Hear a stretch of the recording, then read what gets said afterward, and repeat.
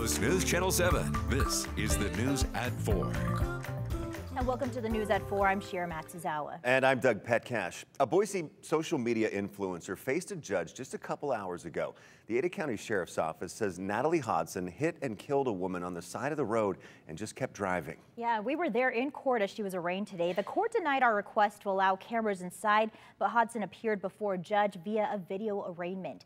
And her appearance comes less than 24 hours after police arrested her in connection with a crash that killed 39-year-old Christina Rowley on Highway 55. She faces felony charges of vehicular manslaughter and leaving the scene of an injury crash. Now, Hodson is well known on social media with more than 91,000 followers on Instagram. The Ada County Sheriff's Office says a witness called 911 to report the crash just before 9.30 last night on Highway 55 between Beacon Light and Seamans Gulch Road. The sheriff's office says a witness followed Hodson a short distance before she was pulled over on Settle Lake Drive.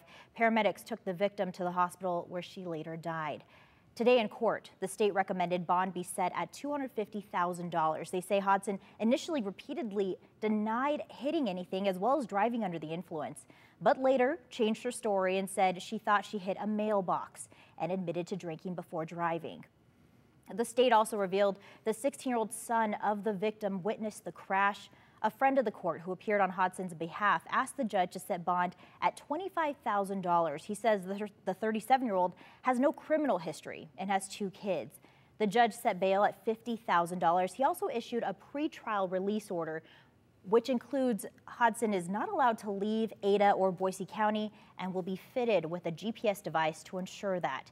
Today, when Alex Duggan and I myself were in court today, the judge mentioned Hodson faces up to 20 years in jail and fines up to $20,000. And you could visibly see her get emotional when the judge said that. Now she's expected back in court on August 23rd.